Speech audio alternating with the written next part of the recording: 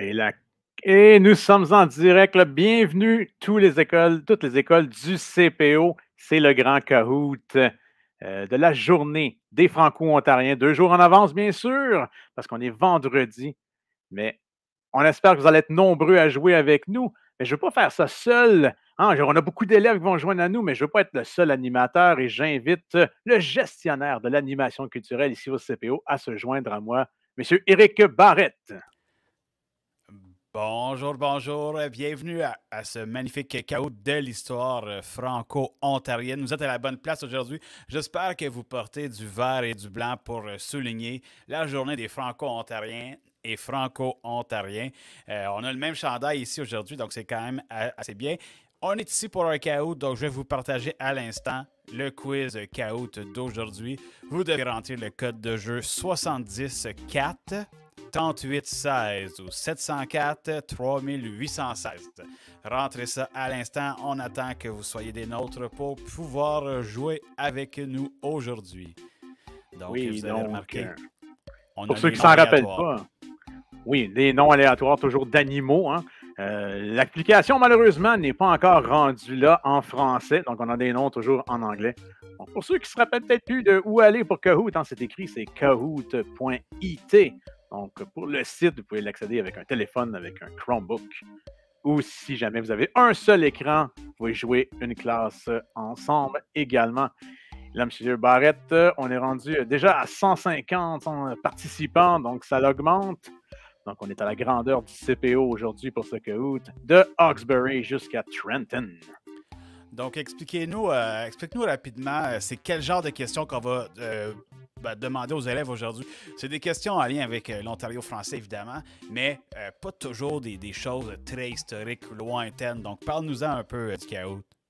Oui, bien, on va avoir des questions sur l'histoire. Hein, quand même, on veut que vous reteniez certaines notions euh, historiques en lien avec les Franco-Ontariens. Mais on est allé chercher aussi des questions un petit peu plus folichonnes, des questions de rapidité surtout. Hein. Plus vous répondez rapidement, plus vous avez de points et plus euh, vous pouvez monter au classement.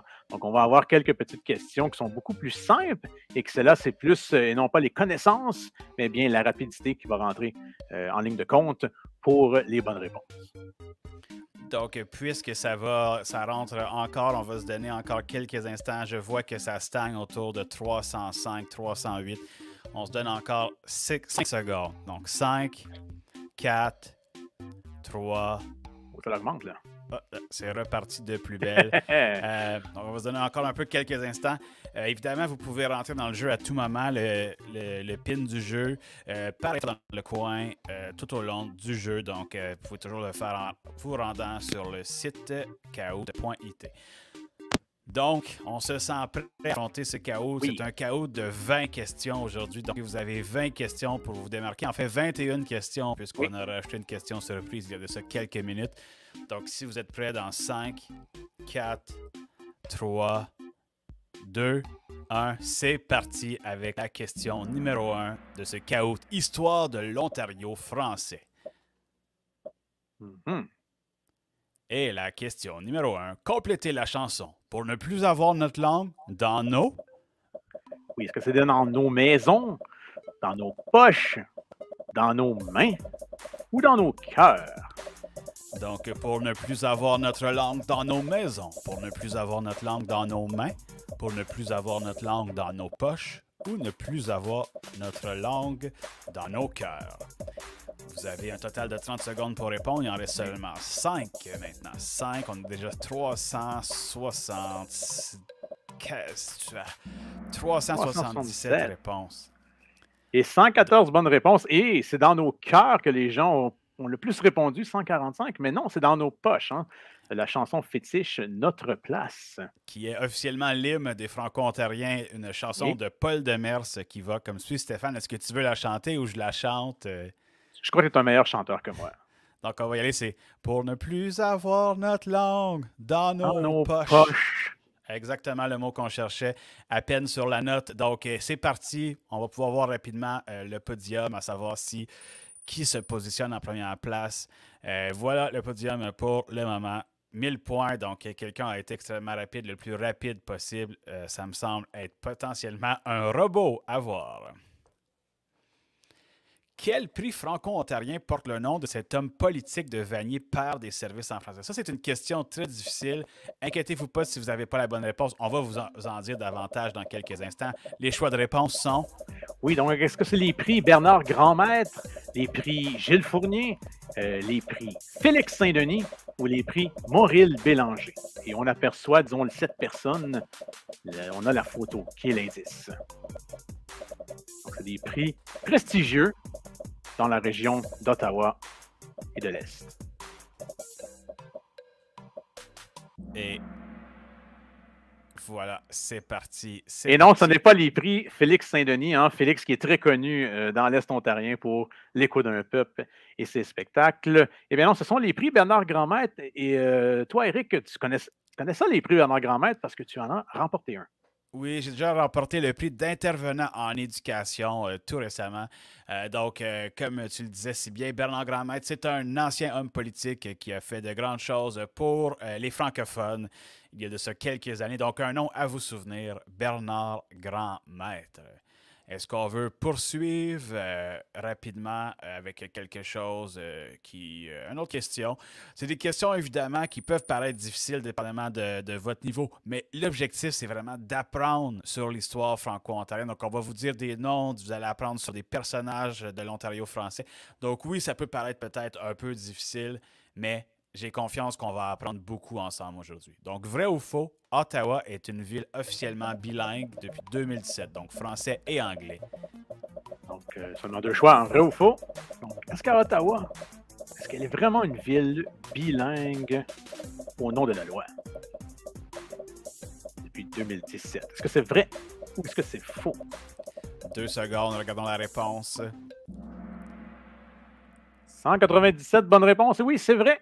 Donc, mais depuis 2017, tout à Ottawa doit se faire dans les deux langues officielles et on parle bien ici de, la gérance, disons, euh, des, euh, de la ville. Hein. Si vous allez sur les routes, si vous allez en autobus et que vous voyez des affiches, bien, Ottawa est obligé maintenant d'afficher, parce que la ville affiche, ça doit être affiché en anglais et en français, tout comme les documents. Donc, euh, les langues officielles du Canada, Stéphane, c'est quoi? Eh bien, c'est l'anglais et le français. Exactement. Donc, on, apprend tous les jours. Changement, c'est un cheval qui prend la première place sur le. Cheval vert. Le joie vert. Euh, félicitations. On poursuit avec la question numéro 4. Où le drapeau franco-ontarien a-t-il été, été, hissé pour la première fois le 25 septembre 1975? Donc, vous le connaissez, le drapeau franco-ontarien vert et blanc. On l'a levé pour la première fois à un endroit dans une ville quelconque. Laquelle? Oui, donc est-ce que c'est à l'Université de Sudbury, dans le nord, dans le nord-ouest? Est-ce que c'est à l'Hôtel de Ville de Toronto? Est-ce que c'est au Parlement d'Ottawa? Ou est-ce que c'est au Fort Frontenac de Kingston? Et la bonne réponse, majorité, 207 personnes ont eu à l'Université Laurentienne de Sudbury. C'est une bonne réponse. La photo qu'on voyait lorsqu'on vous posait la question, c'était la première levée du drapeau à Sudbury le 25 septembre 1975.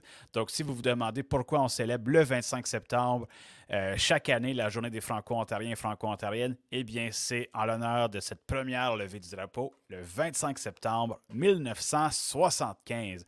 Rappelez-en, 1975, ça fait déjà un certain temps euh, qu'on a découvert ce magnifique drapeau vert et blanc. Toujours pas de changement sur le podium. Le cheval est toujours en première place. Question numéro 5. Quelle est l'origine du nom du groupe musical Les Rot Swamp? Oui, donc les rats swamp. D'où ça vient, ça, les rats? Est-ce que c'est un sobriquet au cœur des contes du père Garneau? Hein, vous savez, ce conteur. Est-ce que ça vient de la grande tourbière d'Alfred? Hein? Il y a un des membres qui est originaire d'Alfred. Est-ce que ça vient d'une chanson du terroir francophone ou de leur look de bûcheron? Hein? Souvent, ils sont habillés avec euh, des chemises à carreaux. Donc, est-ce que ça vient de ça? Pas facile, pas facile. Un groupe que vous avez sans doute euh, eu l'occasion de voir au courant des dernières années. Je sais que nous, ici, l'animation culturelle, on vous a présenté quelques spectacles virtuels euh, des groupes Les Rot Swamp. L'année passée, pour célébrer le 25 septembre, il y avait un méga spectacle euh, culturel présenté pour vous des Rot Swamp. Bref, c'est un groupe que, si vous aimez la musique qui rock un peu, je pense que vous allez apprécier. Et la bonne réponse, c'était un sobriquet au cœur des contes du père Garneau. Le père Garneau, ça, Stéphane, c'est un compteur? Oui, c'est un conteur. Quand les, les, les Swamp ont commencé, disons, ils accompagnaient le père Garneau dans ses contes, ils jouaient de la musique, et c'est là qu'ils ont eu ce nom là, des Rot Swamp. C'est de là que ça vient. Et euh, aujourd'hui, le, père Garneau continue seul, disons, ses contes. Il n'est plus avec les Rot Swamp. Des fois, ils font des choses ensemble encore, mais l'origine du nom, il provient d'un des contes du père Garneau. Et justement, les Rot Swamp, euh, on a appris cette semaine que les Swamp étaient nommés à la disque, donc euh, la célébration de la musique francophone au pays, un peu comme les Grammys ou les prix, les prix Juno, mais pour la musique francophone. Donc, ils sont nommés dans la catégorie album rock. Assez impressionnant. On peut les applaudir en salle de classe. On peut faire deux. On a un cheval assez euh, proactif qui reste en première place. Félicitations, euh, monsieur ou madame le cheval. Question numéro 6. Hawkesbury a déjà été la plaque tournante du développement de la cellophane en Amérique. C'est quoi la cellophane? Mais la cellophane, c'est cette pellicule transparente que souvent qu'on voit euh, avec qu'on emballe les fleurs. Et, autrefois, hein, on emballait tout avec ça. Euh, jusqu'à temps que le plastique fasse, euh, disons, son entrée, les fibres synthétiques. Et euh, Hawkesbury, où je travaille, hein, au sommet, est-ce que c'était la plaque tournante du développement de ça? Est-ce que c'est vrai? Est-ce que c'est faux?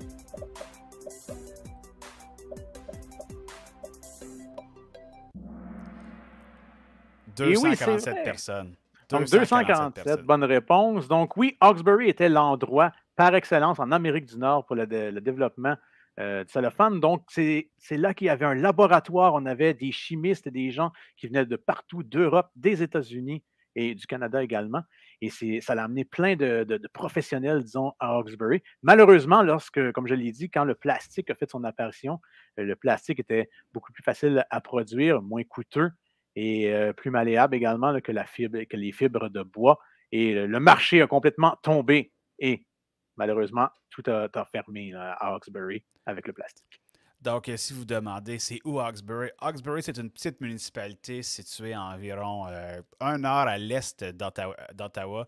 Une communauté à majorité francophone, donc une belle communauté francophone à visiter si jamais vous voulez découvrir ce coin de l'Ontario français. Euh, comme Stéphane le disait, nous avons deux écoles à Hawkesbury, l'école Nouvelle Horizon, l'école élémentaire, et également le Sommet, qui est l'école secondaire. donc, le CPO, c'est un gros, gros territoire. Euh, vous en avez euh, la preuve. C'est parti. Question. Le cheval est toujours en première place. Ah, mais il y a eu des changements euh, sur le podium qu'on regardera un peu plus tard. Question 7. Que représente la couleur verte du drapeau franco-ontarien? Oui, donc pourquoi que le drapeau franco-ontarien est vert? Est-ce que c'est à cause de la forêt boréale? Est-ce que c'est l'héritage canadien-français hein, qui est représenté par le vert? Est-ce que c'est l'été, la saison? Ou est-ce que c'est parce que c'est la couleur officielle de l'Ontario? Pourquoi le drapeau est-il a-t-il du vert? Il est vert et blanc. Plusieurs bonnes réponses. On va le savoir dans trois secondes.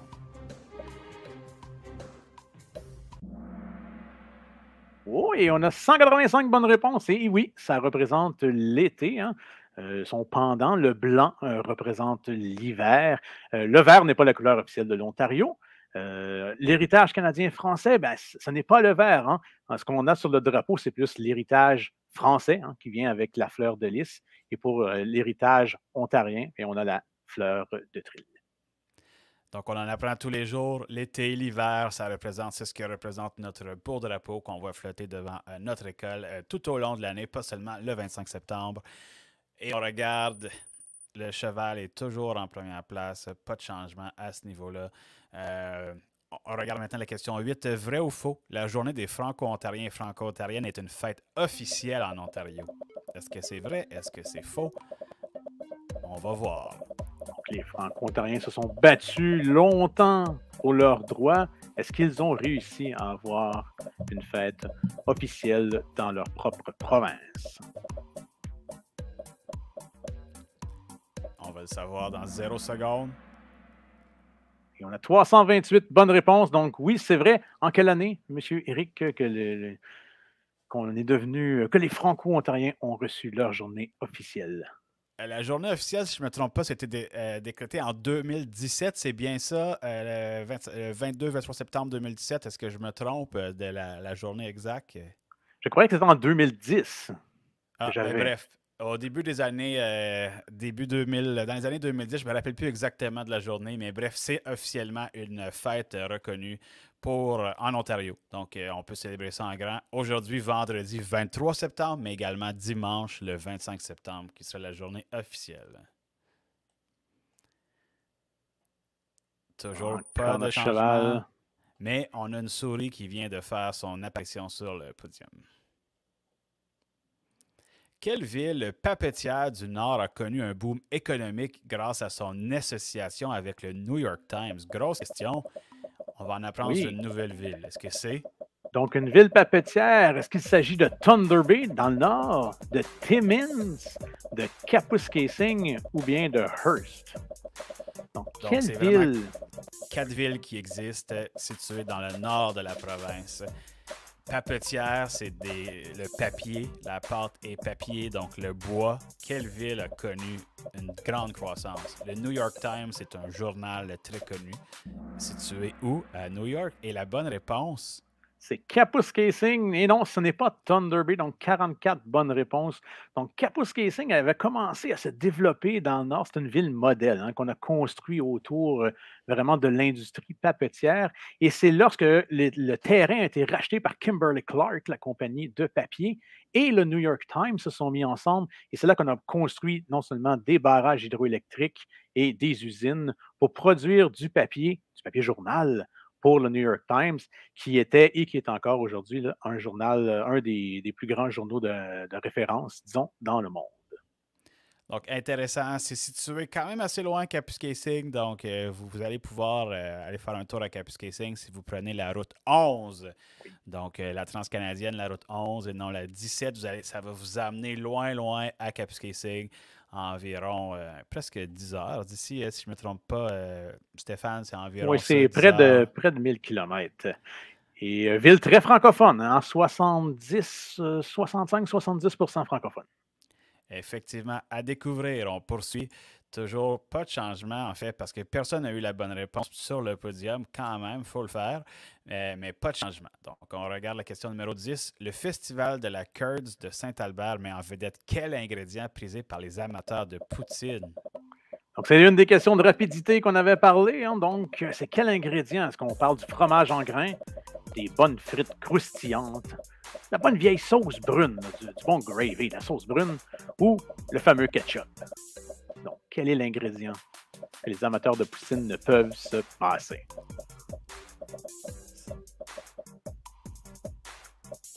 Encore quelques secondes. Et on a 247 bonnes réponses. Oui, c'est le fromage en grains, hein, les curds de Saint-Albert, comme on les appelle. C'est du fromage en grains qu'on utilise dans la poutine. Vous avez certainement déjà vu euh, le fromage en grains de la fromagerie Saint-Albert.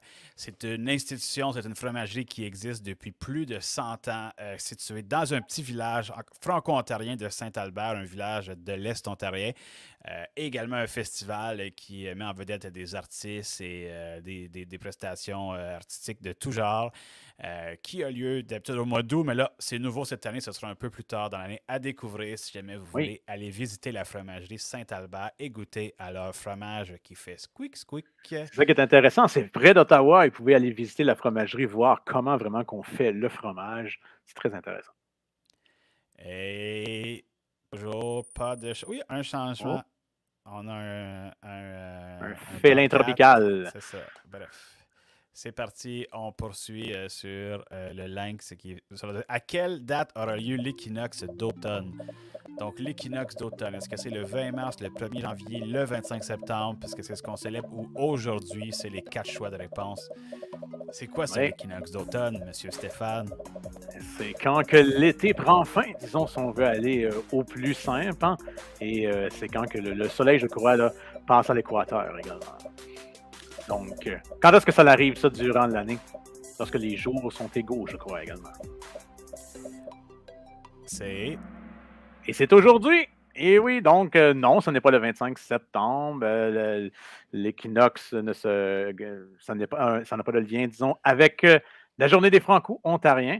ce n'est pas toujours la même date, mais cette année, c'est aujourd'hui le 22 septembre à 9 h. Donc, il vous reste encore, disons, 7 heures d'été à célébrer et l'automne sera euh, parmi nous ce soir. Wow! Moi, j'aime l'automne. Quel plaisir. Va faire froid, on va être bien.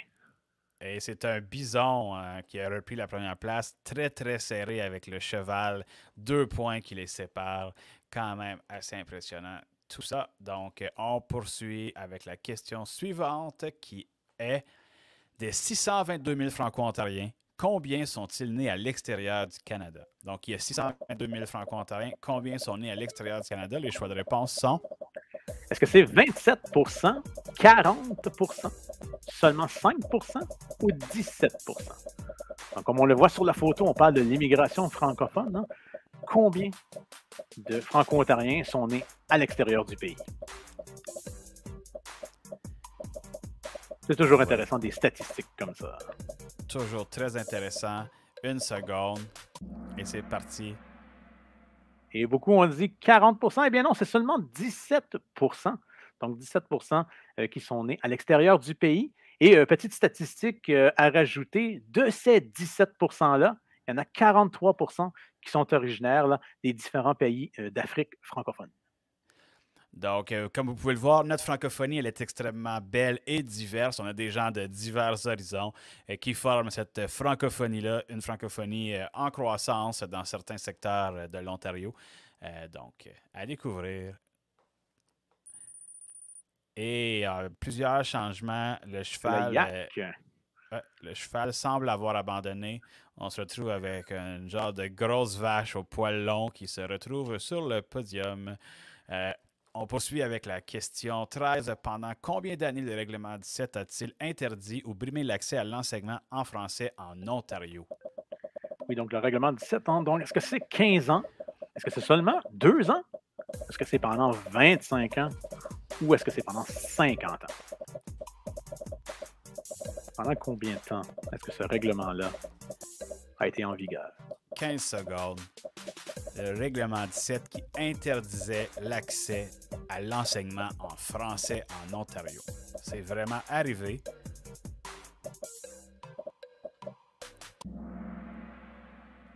Et on a 95 bonnes réponses. 15 ans la bonne réponse, donc de 1912 euh, et jusqu'à 15 ans euh, par la suite, c'était interdit d'enseigner le français dans certaines, euh, dans les écoles de la province. On a vu des luttes des sœurs d'éloge, par exemple, une histoire que vous avez peut-être déjà entendue, qui ont protégé leur école des, des inspecteurs avec un épingle, des épingles à chapeau ces longues, longues épingles pour les chapeaux, euh, et plusieurs autres euh, cas similaires comme euh, Jeanne Lajoie et ainsi de suite. Donc, à découvrir ces histoires-là. sachez qu'aujourd'hui, vous pouvez aller à l'école en français, mais des gens se sont battus par le passé pour pouvoir avoir accès à des écoles en français. Donc, grâce à un bout de l'histoire qu'on ne peut pas oublier, le règlement 17, qui est également un groupe de musique euh, très rock aussi que vous pouvez découvrir.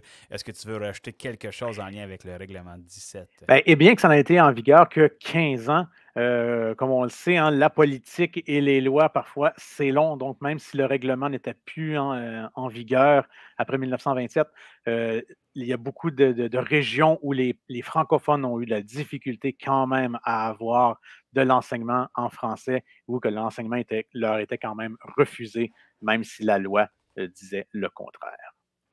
Effectivement. Donc, on poursuit, on regarde la suite le YAC est toujours en première place. Pas de changement à ce niveau-là.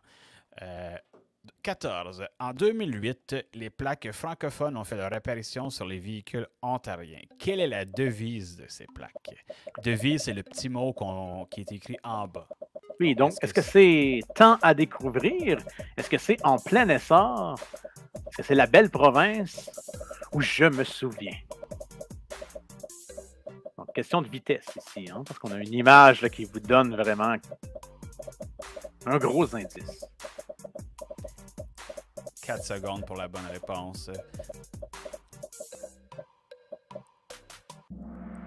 Et voilà.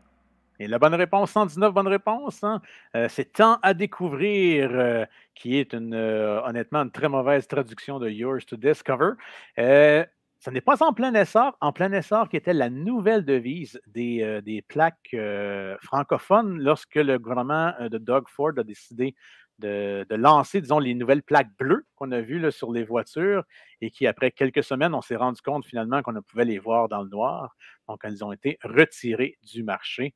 Ce n'est pas la belle province non plus, ni je me souviens, qui sont deux devises. Je me souviens la devise actuelle sur les plaques du Québec et la belle province, une devise dans les années euh, je crois, 60-70 qu'on avait au Québec également. Donc, euh, remarquez quand vous suivez avec euh, vos parents des voitures sur l'autoroute, des fois, vous allez voir que la plaque de licence sur la voiture est en français. donc, au bas de la plaque, ce serait écrit temps à découvrir. Bref, gardez ouvert pour voir le tout.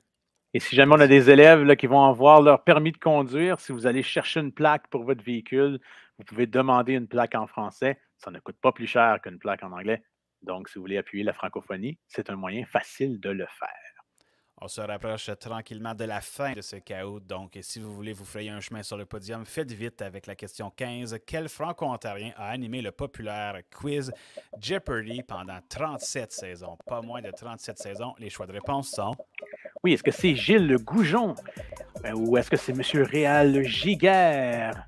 Est-ce que ce serait Ken Jennings ou Alex Trebek? Le populaire quiz américain. Toutes des choix de réponse très intéressants. On voit la photo du monsieur en question. Oui. Qui est ce monsieur? Zéro seconde. 90 personnes ont eu la bonne réponse, qui était? Alex Drebeck. Donc, c'est quand même assez divisé. Hein? Ce n'est pas Gilles Goujon. Gilles Goujon, qui est un animateur journaliste au Québec, euh, qui a animé pendant longtemps le quiz Tous pour un. Euh, ce n'est pas Réal Giguère non plus, euh, M. Giguère qui est décédé, euh, qui animait la version française, québécoise, canadienne-française de Jeopardy au Canada. Et ce n'est pas non plus Ken Jennings, qui est l'animateur présentement à temps partiel de Jeopardy, qui détient toujours le record, disons, le plus grand nombre de matchs consécutifs remportés. Il a remporté, je crois, au-dessus de 2 millions de dollars. Donc oui, Alex Drebeck, qui a animé pendant 37 ans, euh, qui est décédé euh, du cancer, là, je crois. Est-ce que c'est l'an dernier ou il y a deux ans? L'an dernier, si je ne me trompe pas. Et c'est un, monsieur qui est originaire de Sudbury à la base et qui a par la suite fait ses études à l'Université d'Ottawa. Euh, donc, si vous passez par là, vous allez voir, il y a un bâtiment qui porte son nom, M. Trebek. quand même 37 ans à animer une émission de télé, c'est quand même long, il faut le faire. donc, regardons le classement rapidement. Est-ce qu'il y a eu des changements? Un lion qui s'est frayé un chemin sur le podium et on poursuit avec la question 16 maintenant. Quelle famille franco-ontarienne est devenue mondialement célèbre à la suite de la naissance de quintuplés en 1934? Des quintuplés, ça, c'est cinq bébés simultanés. Euh, oui. Donc, on voit la photo ici. Est-ce que c'est la famille Tremblay? Est-ce que c'est la famille Barrette, euh, la famille Dionne ou la famille Crête? À l'époque, ça l'avait fait les manchettes à l'international devenues euh, des vedettes bien malgré elles.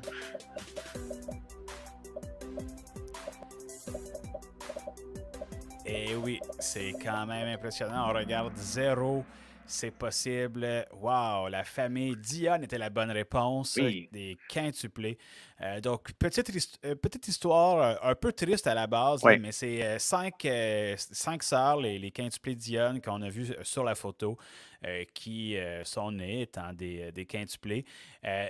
finalement, c'est un peu devenu des, bêtes de cirque en quelque sorte. On pouvait aller les visiter sur place, voir euh, dans leur vie quotidienne dans une genre d'enclos vitré. Euh, c'était les années 30, il faut dire que c'était pas exactement la même chose, mais depuis, le gouvernement s'est excusé. Mais c'est des euh, cinq sœurs qui ont été reconnues à, l'international. les quintuplés Dionne, ça fait partie de l'histoire franco-ontarienne. Vous pouvez même visiter leur maison dans le coin de North Bay qui est toujours disponible et en visite au public les quintuplés Dionne. Un autre fait intéressant de cette histoire-là, c'est qu'en 1934 ou 35, quelques années après la naissance des quintuplés Dionne, plus de gens sont allés voir les, les quintuplés Dionne euh, dans le coin de North Bay que de gens ont visité les chutes Niagara.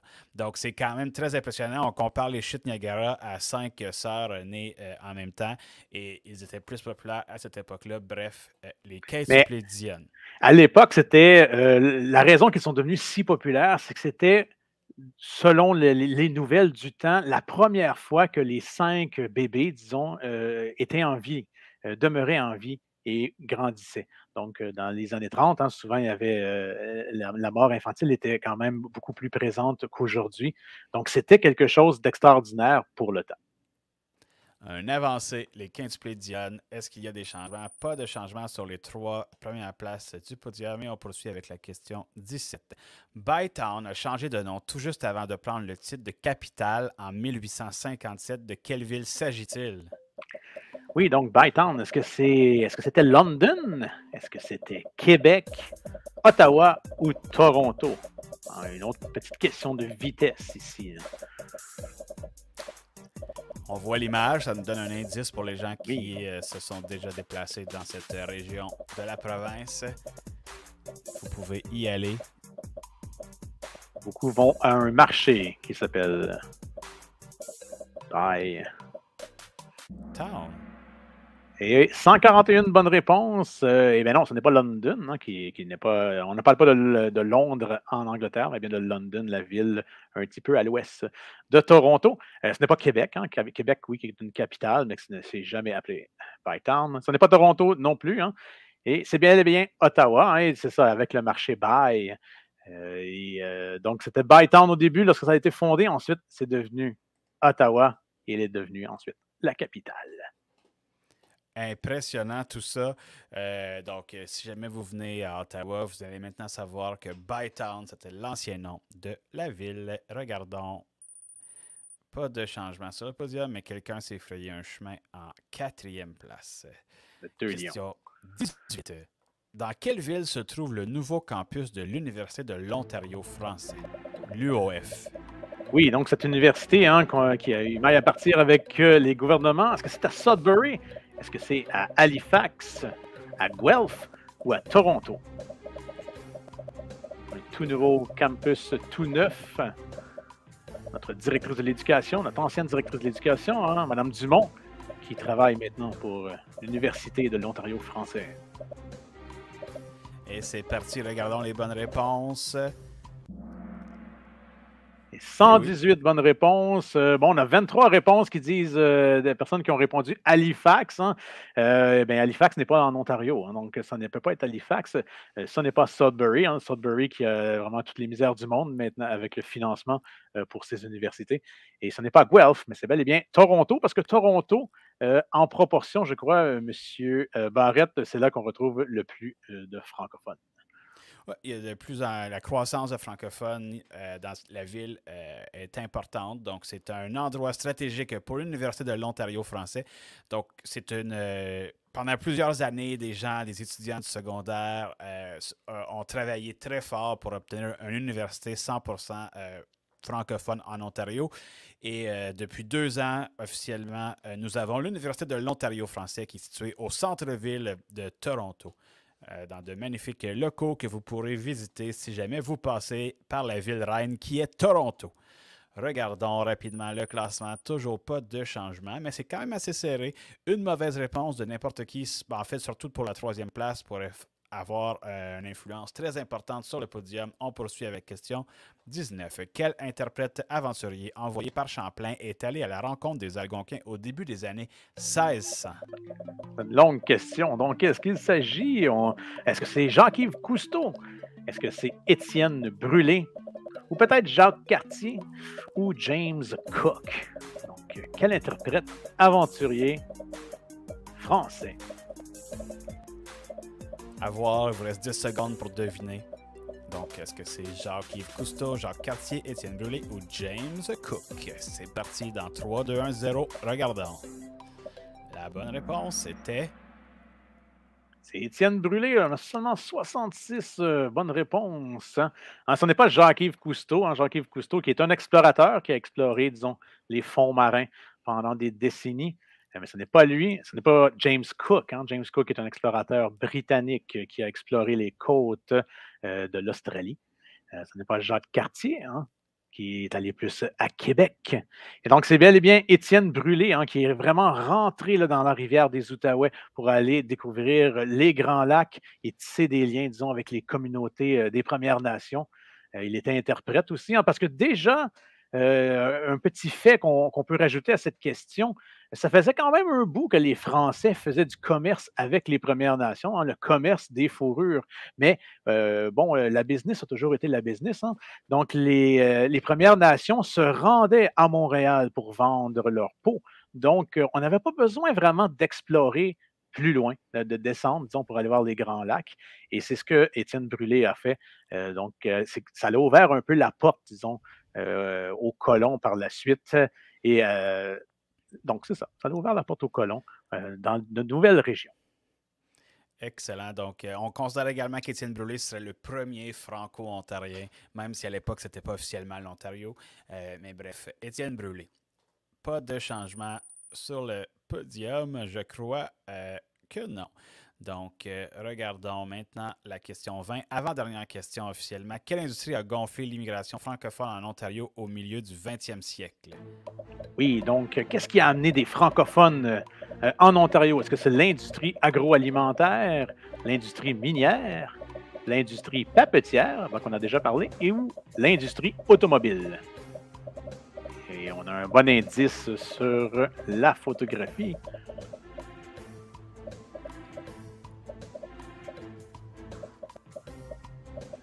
Encore quelques secondes.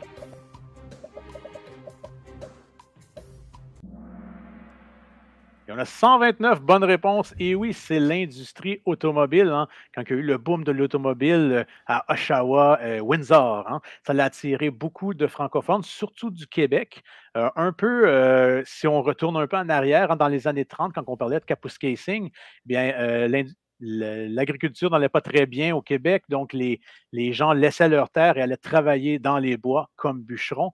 Et là, c'est un peu la même chose, mais là, à la place d'aller travailler dans le bois, on allait travailler euh, dans les usines euh, de véhicules, que ce soit, bon, c'était Windsor vraiment la plaque tournante avec Oshawa dans le temps. Et on peut, j'aurais accepté en partie les autres réponses aussi, parce que c'est vrai que l'industrie minière a fait en sorte que plusieurs personnes se sont installées dans le nord de l'Ontario. On pense à la région de Sudbury. On a parlé de l'industrie de la papeterie tout à l'heure. Il y a également des gens qui se sont déplacés dans le coin de Kapuskasing pour ces raisons-là. L'industrie agroalimentaire, dans le passé, plusieurs personnes se sont installées dans l'Est ontarien pour pouvoir exploiter les terres. Mais euh, au milieu des années 50, ben, 1950, c'est vraiment l'industrie automobile qui a connu un boom important dans les régions mentionnées par M. Stéphane. Donc, euh, il vous reste seulement une chance par la suite. Une seule question va valoir des points, la question 21 par la suite pour euh, vous frayer un chemin sur le podium. Mais c'est pas grave, tant qu'on en apprend tous les jours. Vous voyez à l'instant, nous venons d'avoir quelqu'un qui s'est faufilé sur le podium. En fait, je ne sais pas c'est quoi un ibex ou un elbex. Un animal C'est fabuleux. Que vous allez pouvoir découvrir en temps et lieu. Donc, euh, on poursuit maintenant avec la dernière question officielle de ce quiz Caout qui va comme suit. Les francophones de l'Ontario peuvent retracer l'histoire de leur communauté sur plus de combien d'années? Est-ce que c'est... Vous avez eu un petit indice lorsqu'on a parlé d'Étienne Brûlé, mais est-ce que c'est est -ce il y a 5000 ans? Il y a 1000 ans? Est-ce qu'il y a deux, c'est 200 ans ou il y a 400 ans? Un plus de 400 ans, plus de 200 ans, ou plus de 1000 ans, ou même 5000 ans. Donc, euh, pendant ce temps, je suis allé faire une recherche sur savoir c'était quoi un ibex. C'est un bouquetin, le bouquetin des Alpes, bouquetin ou ibex, c'est un mammifère de la famille des bovidés. Donc, ça ressemble en quelque sorte à une. Euh, un bouc, là, un animal avec des grosses cornes que vous allez pouvoir aller voir sur Internet. Aucun rapport avec la francophonie. Mais la bonne réponse qu'on cherchait, c'était quoi, Stéphane? Donc, c'est plus de 400 ans. Hein. donc, on, comme on le disait tout à l'heure avec Étienne Brûlé dans les années 1600, je crois 1612, 1613. Euh, donc, c'est donc plus de 400 ans que les francophones euh, se taillent une place, disons, sur le territoire de l'Ontario. 116 bonnes réponses, c'est quand même pas si mal. Donc, on va regarder le podium une, dernière fois avant la question ouverte à la fin. C'est parti. C'est un nuage de mots avant de voir le podium. Un mot, exprime ta francophonie. Donc oui, donc euh, pour terminer ce Kahoot, on célèbre la journée des franco-ontariens. On vous donne 30 secondes en un mot. Exprimez votre francophonie. C'est quoi pour vous votre francophonie? Choisissez votre mot qui la représente le mieux. Et on va voir euh, ce que les joueurs euh, ressentent, disons, pour leur francophonie.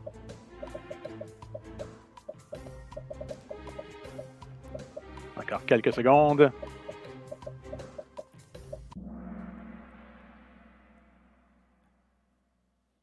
Et c'est parti. C'est le mot caout que tout le monde. Et regardons si on a eu des bonnes réponses. Pour une raison très bizarre, j'ai le mot caout euh, seulement qui reste devant moi. Mais on voit, oh, on le voit ici, bon, euh, français, euh, français, pas d'accent, pas de CCD, je veux dire, donc ça prend un CCD. Franco-ontarien, Canada, on a quand même Oh, il y en a qui aiment Hollow. Est-ce que Hollow est vraiment en lien avec la francophonie? C'est ce que c'est. On a un beau franco-ontarien qui revient souvent. Donc, regardons rapidement le podium de qu'est-ce qu'il y en est. On a l'animal qu'on vient de découvrir, le bouquetin en troisième place, le yak est en première place. Donc, le yak s'est fait ravir euh, sa, première place par le bison, ce bison rapide. Donc, euh, wow, quel beau podium, assez impressionnant, merci. Euh, donc, euh, félicitations, c'est ce qui met fin à ce chaos de la francophonie. J'espère que vous en avez appris beaucoup. Comme vous pouvez voir, l'histoire de l'Ontario français a quand même plusieurs, plusieurs couches, plusieurs choses intéressantes qu'on peut apprendre. Donc, n'hésitez pas à célébrer une deuxième fois ce dimanche, le 25 septembre. Vous allez pouvoir vivre d'autres activités de la sorte euh, dans vos communautés. Je sais qu'il existe plusieurs activités euh, près de chez vous. C'était dans la région de Kingston, le Centre culturel Frontenac vous propose quelque chose. À Ottawa, vous avez le Festival Franco. Euh, à Pembroke, vous avez également une célébration. Donc, visitez les différentes activités qui ont lieu dans vos villes respectives. Et pour euh, terminer cette diffusion aujourd'hui, pourquoi pas se laisser avec euh, l'hymne des Franco-Ontariens qui est Notre place de Paul Demers. On a pu apprendre tout à l'heure quelques petites paroles de cette euh, chanson-là. Donc, si vous voulez bien, on se laisse avec ça et on vous souhaite une excellente journée des Franco-Ontariens et Franco-Ontariennes.